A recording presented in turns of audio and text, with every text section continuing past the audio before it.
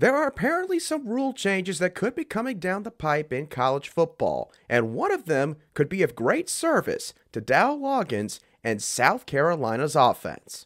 Our Locked On Gamecocks, your daily podcast on the South Carolina Gamecocks, part of the Locked On Podcast Network. Your team every day.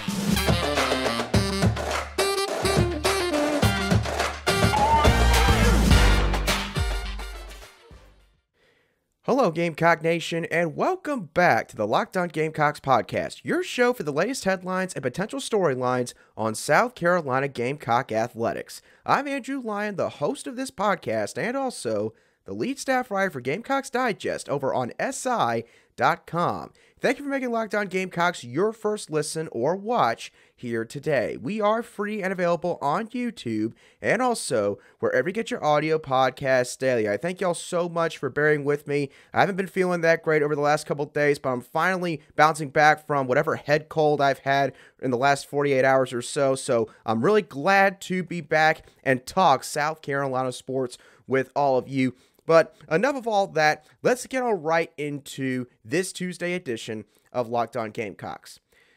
There are some rule changes that could be coming down the pipe for college football starting in the 2023 season. This has been mainly reported by Ross Dellinger of Sports Illustrated. So if you're interested in diving further into that whole discussion, I highly recommend you go check out the articles he has done regarding on all this. But for South Carolina and how these rule changes for the sport could affect them specifically. We're going to focus on one main rule change that could take place and potentially help Dow Loggains and South Carolina's offense by giving them an advantage over their opponents. So, in terms of the main rule change possibility that we're going to talk about on today's show, we're going to focus on one that almost completely aligns with the NFL's current rules regarding the clock. Because for college football, as of this current moment, when an offense gets a first down and the ball carrier or receiver remains in bounds, the clock ends up stopping until the referee ends up spotting the football on the new line of scrimmage. Which leads me into the rule change proposal that could happen soon for college football which would be that the clock would continue to run after an offense gains a first down, except when inside of two minutes remaining in an individual half.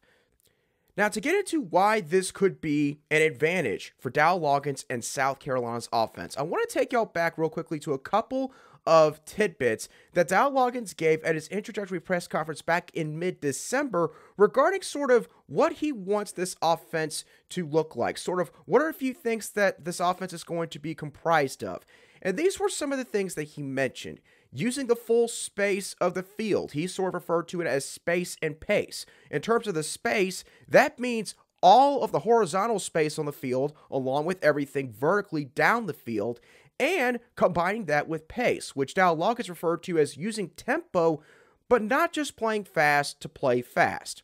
We all know a couple of teams in college football that like to operate that way on offense. And the other thing that Dow Loggains mentioned was this he's impressed with how quickly players can learn a signal or a one word play call for an entire play, where basically they look to the sidelines and they see one hand signal, and every single position group knows exactly what they need to do on that ensuing play.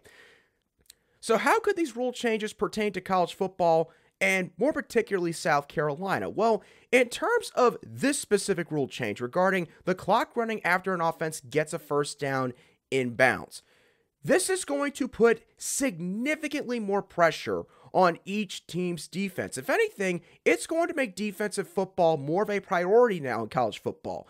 You are no longer going to be bailed out by having some time saved up for your offense to muster a response to your opponent if your team cannot stop your opponent over and over and over again continuously throughout the course of a football game. So, getting back to South Carolina, why would they have an advantage with this rule change? Well, the answer lies within their recent hired offensive coordinator in Dow Loggains, whom I know again has really created some polarizing opinions in South Carolina's fan base regarding the hire. But you cannot deny this.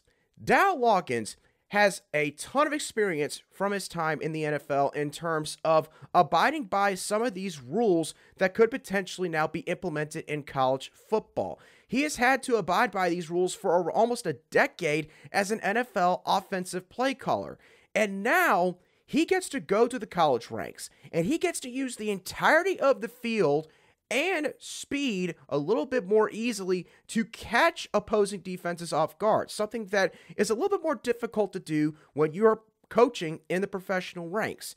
You combine this with Dow perceived understanding of the importance of quick and efficient play calls through hand signals, through one word calls, instead of, you know, making the quarterback have to go up to the line of scrimmage and have to make six, seven different checks before they can even snap the football. South Carolina's offense could now be farther ahead of the curve in terms of how they fully take advantage of these potential rule changes, which I believe now are actually about to be proposed to executive committees in college football. And this could subsequently put more pressure on opposing team's offense, not just their defense. As opposing offensive coordinators now, if they face a team maybe that's coached by Dow Loggains that has success in these new rule changes, they're going to have to find ways to respond. And as we've all seen, coaches can prepare and strategize as much as they would like leading into a game. But it's interesting to see how sometimes some of those plans can get thrown out of a window when you're in the middle of a football game. You can't plan for an opponent basically driving down the field on your defense nonstop. You cannot plan for X amount of points being scored by your opponent. And so for South Carolina, if they can do what they did last year in some of these games, like they did against Tennessee, and Clemson and a couple of others as well, and be more efficient on the offensive end to where they're not basically one of two extremes where they're either scoring on every other drive or they're just stuck in the mud and they quite literally are struggling to get a first down. If South Carolina can be at least a little bit more in the middle, maybe lean more towards the better end of that spectrum with Dow Loggains' experience under these rules, then opposing offensive coordinators that they face, they could feel more pressure. It could cause them to press a little bit more than they would have originally planned to do so. And here's the thing when looking at South Carolina's schedule for 2023 and opposing offensive coordinators who also might be able to adapt a little bit better to some of these rule changes should they get passed by these committees, the only two coordinators that stick out in this particular aspect are Bobby Petrino at Texas A&M because he had one year where he was the head coach of the Atlanta Falcons 16 years ago, and Liam Coen of Kentucky, who of course has developed plenty of years of experience, and last year happened to get a year of experience as the offensive coordinator for the Los Angeles Rams. Those are the only two that, along with Dow Loggains, just based on South Carolina's schedule, might be able to adjust to these rule changes a little bit more quickly than others. So Again, reverting back to my original point, these rule changes, no matter what you think of them, no matter what you think of how this could change the game of college football, maybe them trying to basically replicate what the NFL does, maybe they're doing this for money instead of player safety, no matter what your opinion is regarding that side of the equation, when looking specifically at South Carolina, and in terms of the clock continuously running after every first down, besides first downs that occur within two minutes of the end of a half, this could really bode well for South Carolina's offense and Dow Loggains subsequently. This could give South Carolina a leg up. Now, does this mean that South Carolina's going to automatically win 10 plus games? Does it mean they're automatically going to score 40 plus points a game? No, it does not. Obviously, the team still has to go out there and they still have to be able to string consecutive plays together in order to really take full effect, full advantage of these rule changes. But if they can do so, especially earlier on in the season during a really tough stretch of games where the Gamecocks have opponents like North Carolina in Charlotte, they play Georgia on the road, then they play Mississippi State back at home before they travel on the road again to take on the Tennessee Volunteers. Their ability to adjust to this one rule in particular could literally make or break this team in terms of games that end up coming down just a couple of possessions. And if they can adjust well in those particular instances, then you have to give Dow Loggains in South Carolina a leg up in this regard. So, again, no matter what you think of these rule changes overall, a couple of them could really serve South Carolina well in 2023, should they, of course, be approved by the executive committees of college football. Now, South Carolina's football program is less than a month away from being able to take the practice field once again and be able to get a better idea of sort of what kind of team they have at this point. One team, however, that's not going through that process right now is South Carolina's women's basketball team, who is nearing the finish line of the regular season. And in a way, they showed that this past Sunday afternoon against the Ole Miss Rebels as they narrowly defeated Ole Miss in overtime. What all led to that final result? We're going to dive into all of that in just a couple moments right here on Locked On Gamecocks. Today's show is brought to you by our friends over at Built Bar. Now, if you're looking for a delicious treat, maybe something that can help you be a little bit more healthier, because maybe you've realized, you know, I need to get out of the house a little bit more. I need to start going back to the gym. I need to start exercising once again, which I have certainly learned the hard way over the last couple days with me feeling a little bit under the weather myself then obviously you're going to want a really good protein bar, something that's going to taste well, something that's going to be enjoyable, but also something that is going to give you everything that you're looking for.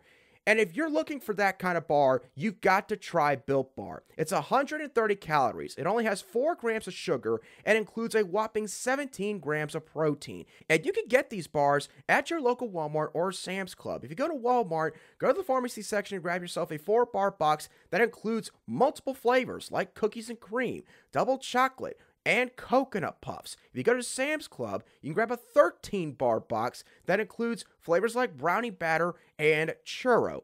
No matter where you can get these bars or whatever flavors you like, I promise you, you're not going to regret choosing Built Bar. You will thank me later because Built Bar is where tasty is the new healthy.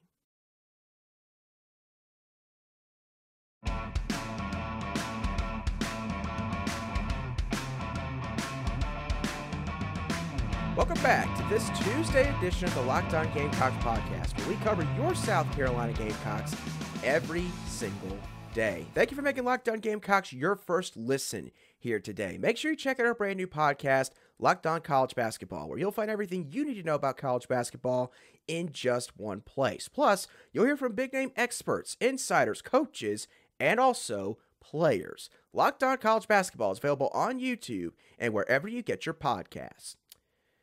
South Carolina's women's basketball team almost fell to their opponent for the first time in 33 straight tries, dating back to March of this past calendar year.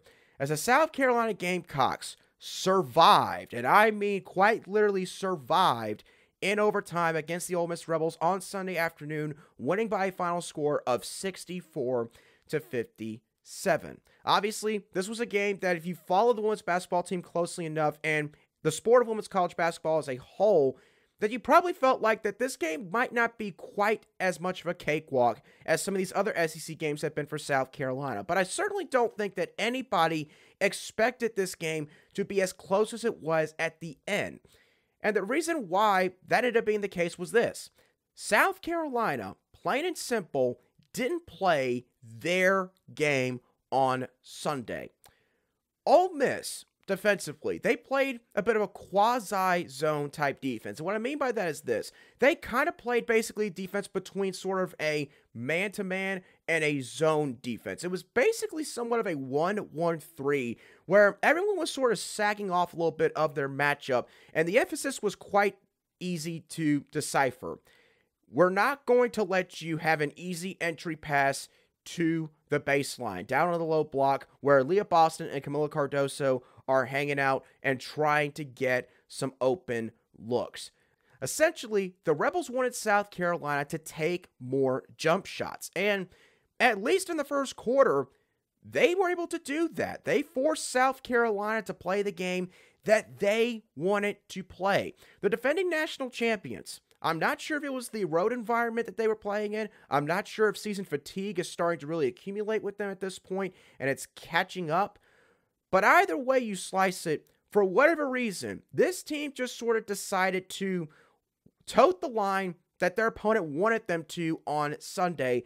And from the onset, you could sort of tell that this game was not going to be as easy for South Carolina to get through because of some of the decisions that they were making. South Carolina didn't take care of the basketball on Sunday afternoon. They had 15 turnovers compared to Ole Miss's 9 for the game. And here's the thing, even by some of the slimmest margins, South Carolina won every other major statistical category in this contest except for turnovers. It goes back to an old coaching cliche, which is if you do not take care of the basketball, the football, whatever it is for whatever sport you play, then you can lose to anybody on any given day. And that almost happened to South Carolina. The Gamecocks, again, they just sort of did what Ole Miss wanted them to do, which is they played a little bit more isolation ball. Carolina's guards at times decided to just try to make a play for themselves and drive into areas where sometimes there was two, if not three, Ole Miss Rebel defenders sitting right there waiting for them. And either they would try to get a shot off and have the ball swatted out of their hands, and it would be a turnover for the Rebels, or a Rebel defender would get her hands in there, and it would turn into a scrum fest over the basketball, and it would be a jump ball, and Weirdly enough, almost every jump ball when South Carolina was on offense seemed to go Ole Miss's way. There was a lot of jump balls in this contest. It was a very physical matchup between these two teams.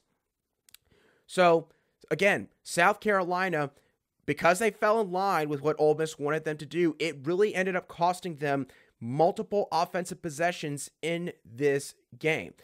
And here's the other thing South Carolina, after the first quarter, they did try to put more of an emphasis on getting the ball near the baseline again to the front court, to Aliyah Boston, Kamilla Cardoso, Victaria Saxton, and everybody else in that area of the floor.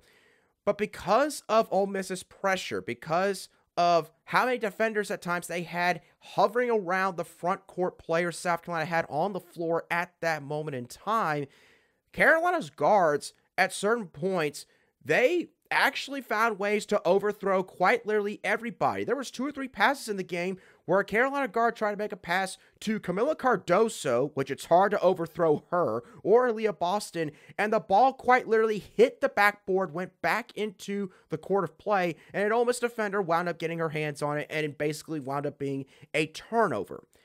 Happened on multiple occasions, which again, you have to give credit to Ole Miss's defense, but at the same time, South Carolina made a lot of at least 50% unforced errors in this game. Errors that we're not used to seeing from this team. A couple more points from this game. South Carolina had to lean heavily on their star players. And obviously, I know some of you are sitting there and thinking, Andrew, that's the way every single sports team operates. You're going to lean on your star players, especially when it comes down to games like this. And I understand that to a certain degree.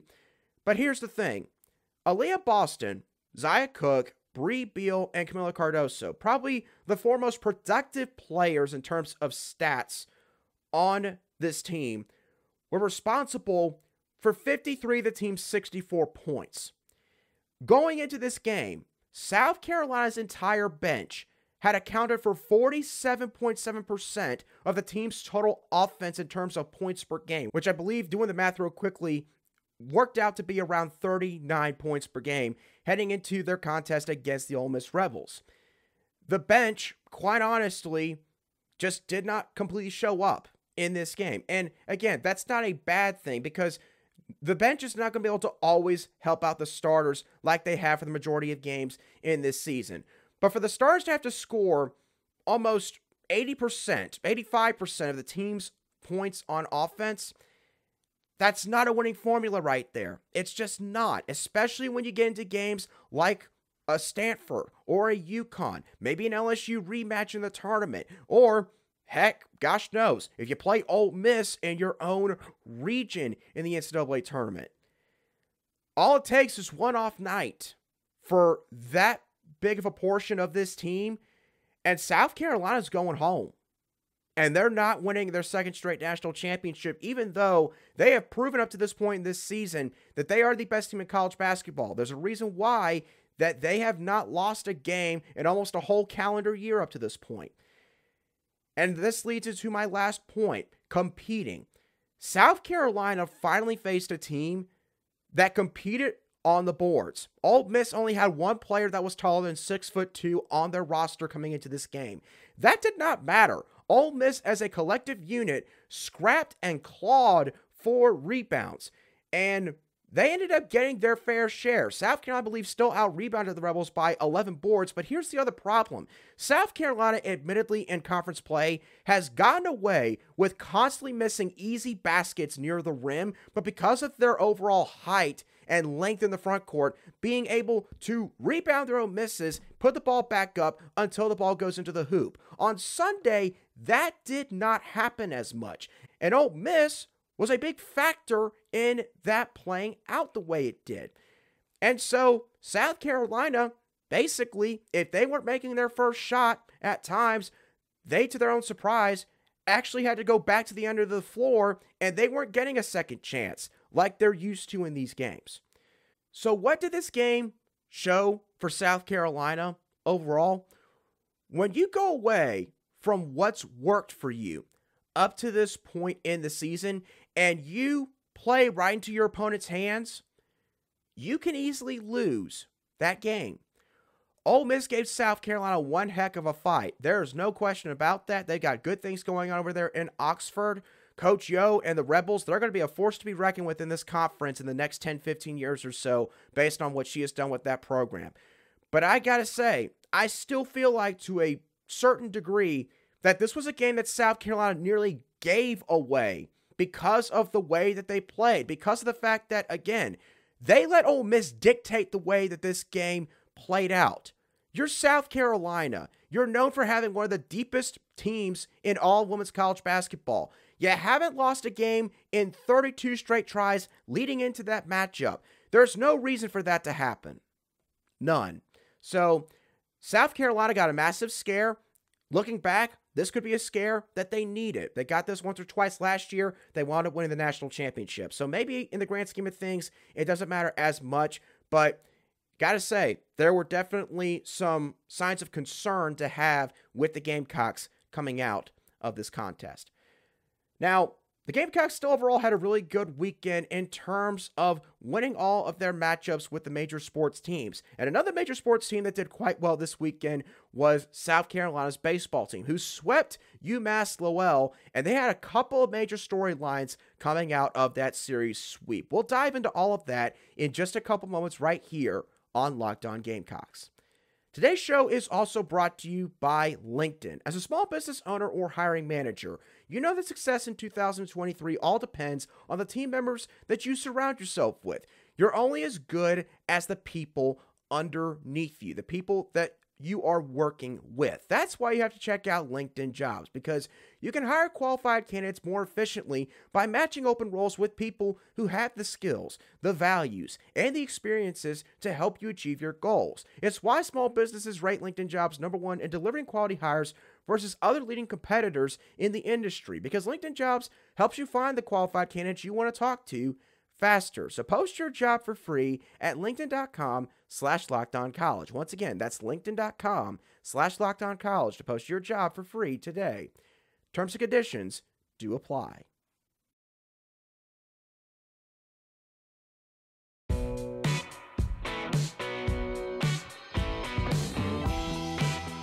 Welcome back to today's edition of the Locked On Gamecocks podcast, where we cover your team every single day in just 30 minutes.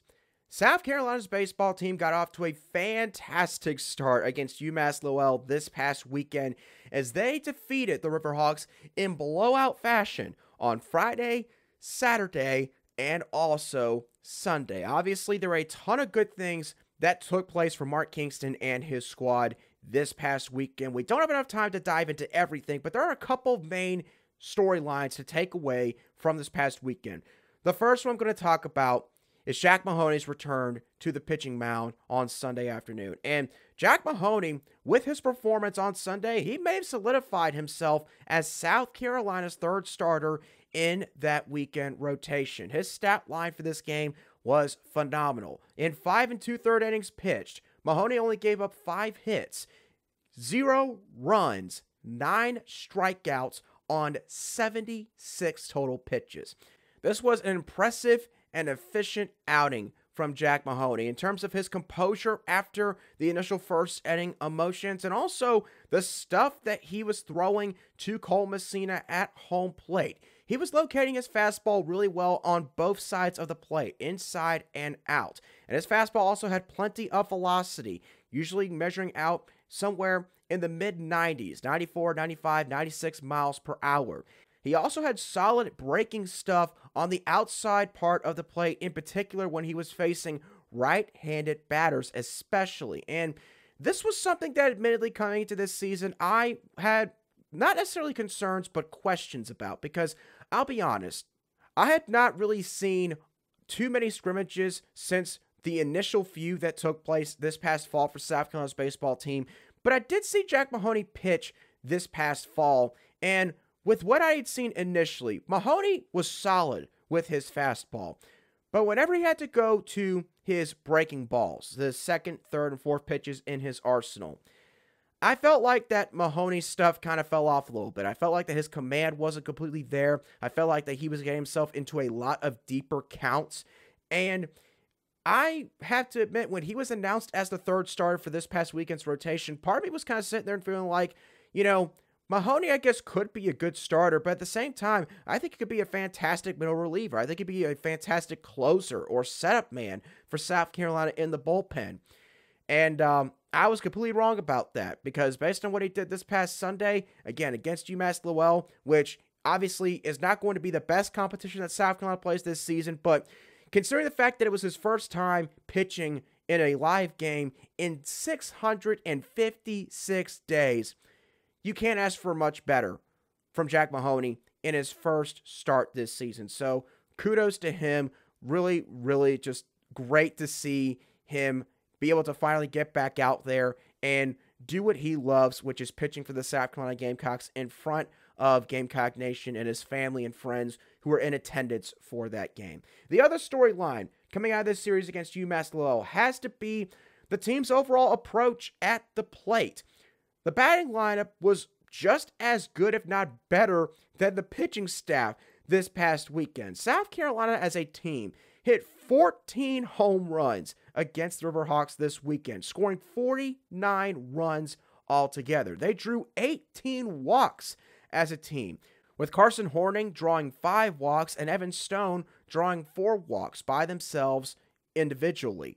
And the team as a whole batted 393 this past weekend. What does all this come back to? It comes back to the plate discipline and the approach that is being taught by Monty Lee. And Mark Kingston has sort of alluded to this in the past week or so, but apparently, Monty Lee, in terms of being a hitting coach, he is very individually based in terms of sort of how he goes about teaching some of these guys on the team. He does not basically take the same sort of approach and try to use it as a carbon copy for every single guy in the lineup and on the roster. He adjusts based on the kind of player that he is talking to, based on what their strengths are, what some of their weaknesses might be, and he does that for every single player. And I think that that showed itself this past weekend against UMass Lowell. And again, UMass Lowell, they are not going to be the best team Carolina plays all season, but I will say this it is really difficult for an offense to score 49 runs total in three games to start a season against a team that, yes, while a mid major team, was one game away from making the NCAA regionals this past summer. UMass Lowell is not a terrible mid major program. They are pretty stable, as a matter of fact. They returned the majority of their batting lineup from this past year. Had a couple really solid pitchers that came back for this season. Their head coach is coming into his 19th season at the helm for the Riverhawks. This isn't some startup mid major team that won like six games a year ago that they were facing. South Carolina was facing, again, decent competition for their first weekend.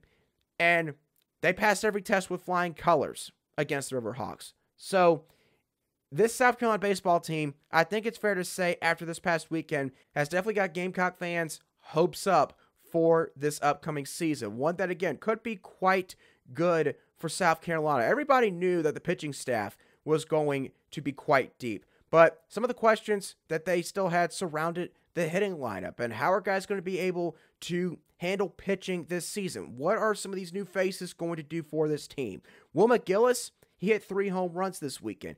Gavin Casas, I believe, hit two or three home runs himself. Dylan Brewer, I believe, hit one out. Talmadge LeCroy looks really good over at third base. Cole Messina did a good job at the catcher position. Looks like somebody that is going to have really good chemistry with South Carolina's starting pitchers. So, this is a team that, after just a few games this season, is looking more and more like a team that could do better than just making the NCAA regionals. They could make the super regionals. Who knows? If they catch some fire and they get some other things figured out, maybe they can even make it back to Omaha, which will be the program's first appearance in 11 seasons. It's obviously something that Gamecock fans have been dying to see for quite some time, and this could be the team for Mark Kingston that gets South Carolina back into the discussion for Omaha, a discussion that this program deserves to be in every couple of years or so.